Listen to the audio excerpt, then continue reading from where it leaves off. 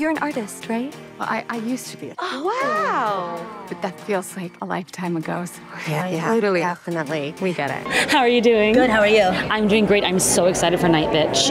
What was the first thing that stood out to you when you read the script? The title.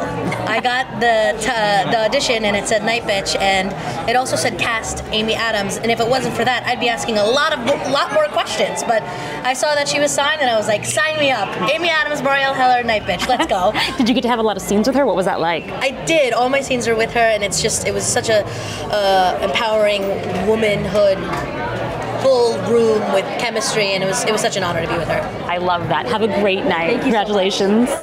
Do you ever feel like the big secret is that we are gods?